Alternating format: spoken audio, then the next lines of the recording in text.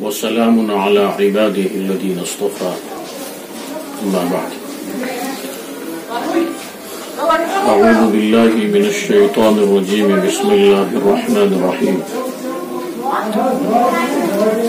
وما أرسلنا من رسول إلا بلسان قومه. فيضل الله من يشاء ويهدي من يشاء. وهو العزيز الحكيم.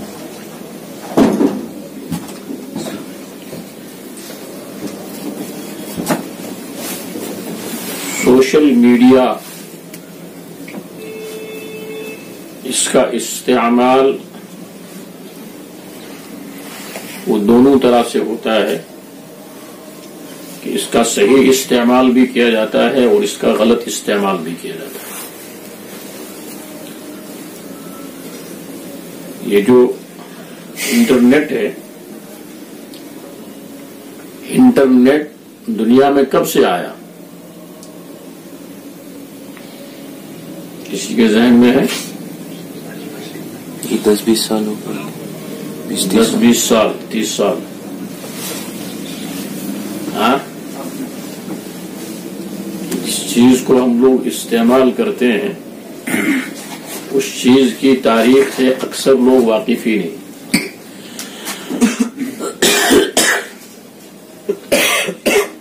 انیس سو تریاسی سے انٹرنیٹ کا استعمال ہو رہا ہے دنیا کے اندر۔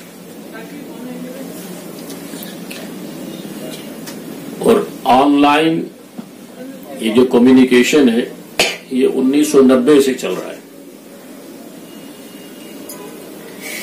یعنی یہ جو ورلڈ وائڈ ویب جس کو ہم کہتے ہیں ڈبلو ڈبلو ڈبلو یہ انیس سو نبے سے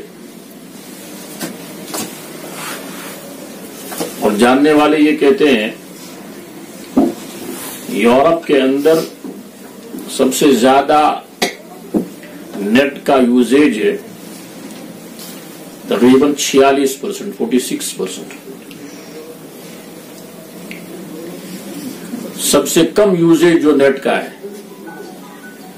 وہ کس کانٹیننٹ کے اندر ہے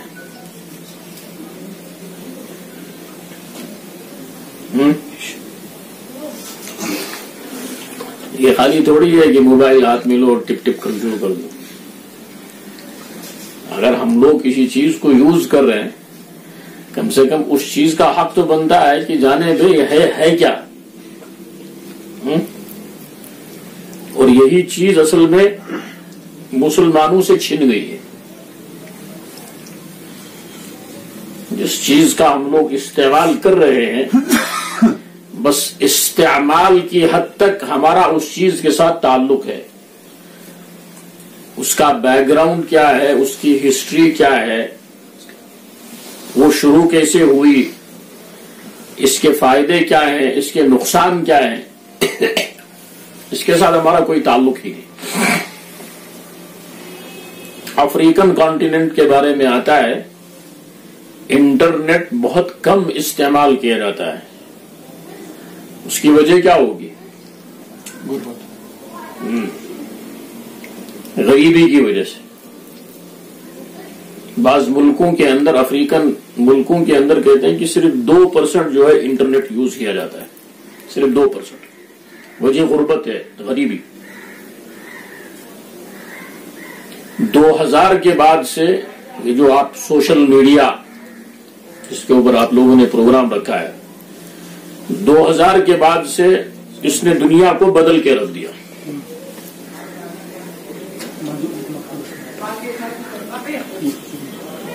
پاکستان کے اندر اس وقت جو سوشل میڈیا کے اکاؤنٹس ہیں، لکھنے والے لکھتے ہیں کہ پچاس ملین اکاؤنٹ ہے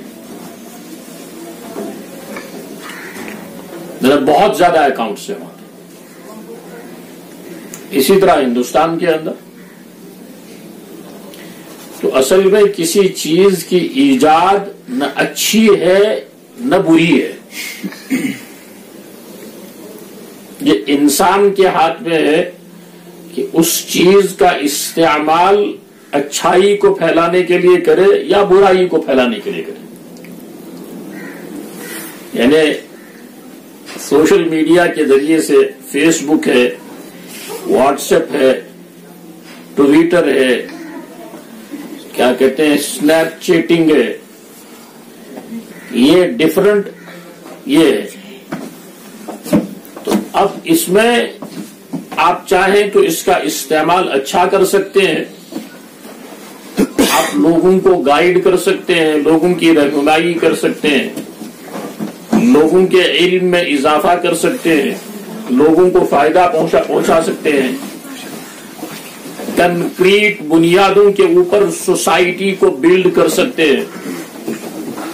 اور آپ چاہیں، جیسا آج کل سوشل میڈیا کا جو استعمال ہو رہا ہے کہ برائیوں کو پھیلانے کے لیے، دوسروں کو نقصان پہنچانے کے لیے، بے حیائی کو عام کرنے کے لیے، تو یہ اصل میں سوشل میڈیا خود غلط نہیں ہے۔ استعمال کرنے والا اگر اچھا ہے، تو یہ اچھائی کو پھیلائے گا۔ اگر استعمال کرنے والا اگر اچھا نہیں ہے، برا ہے، تو یہ برائی کو پھیلائے گا۔ اس میں سوشل میڈیا کا کوئی قصور نہیں ہے۔ لیکن ہے یہ اتنا پاورفل اتنا طاقتور۔ یہ جو عرب سپرنگ، نام سنا ہوگا؟ جی؟ عرب سپرنگ کا نام سنا ہے؟ ہاں؟ پھر کیا سوشل میڈیا آپ لوگ یوز کرتے ہاں؟ یہ جو عرب ممالک کے اندر کچھ سال پہلے بڑے پیمانے کے اوپر پروٹسٹ کیا گیا، حکومتوں کے خلاف۔ اس کی شروعات سوشل میڈیا سے ہوئی۔ آپ کے فیس بک سے اس کی شروعات ہوئی۔ اس کے نتیجے میں یہ عرب ممالک کے اندر لوگوں کا ایک سیلاب آیا جو پروٹسٹ کرنے کے لیے نکل نکلتے تھے۔ لیکن بعد میں اس کو جن کے ہاتھ میں دنیا کی کمانڈ ہے، انہوں نے اس کو ناکام بنایا۔ اسی طرح یہ جو میانمار کا ظلم لوگوں کے سامنے آیا۔ وہ الیکٹرانک یا پرنٹ میڈیا کے ذریعے سے سامنے نہیں آیا، وہ سوشل میڈیا کے ذریعے سے سامنے آیا۔ اسی طرح ابھی دو سال پہلے ترکی کے اندر ایک ناکام بغاوت ہوئی تھی۔ اس ناکام بغاوت کو جو روکا گیا، وہ اردوگان نے اس وقت اپنا موبائل نکالا اور موبائل نکالنے کے بعد ایک میسج کی اپنی اپنی پبلک کو کہ آرمی کو کر رہی ہے۔ اس لیے آپ اس ریوولٹ کو ناکام بناؤ۔ تو سوشل میڈیا اتنا پاورفل ہے کہ عرب عرب سپرنگ، اس کی شروعات جو ہے وہ فیس بک کے فیس بک سے ہوئی۔ اسی طرح آپ کے سامنے دنیا کے اندر جو کچھ ظلم ہو رہا ہے، وہ اس سوشل میڈیا کے ذریعے سے سامنے آ رہا ہے۔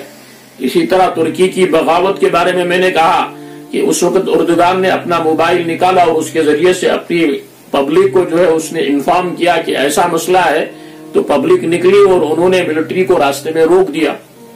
تو ہے یہ بہت پاورفل ذریعہ۔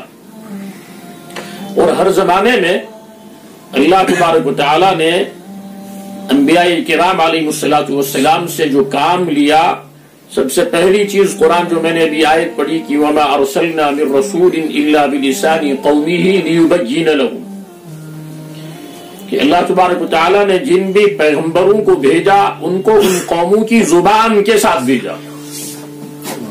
ایسا نہیں ہے کہ جیسے یہاں پر کشمیر کے اندر ہم لوگ کشمیری بولتے ہیں یا اردو بولتے ہیں، تو اب جو اللہ کا نبی یہاں پر آئے، نہ وہ کشمیری جانتا ہے، نہ وہ اردو جانتا ہے۔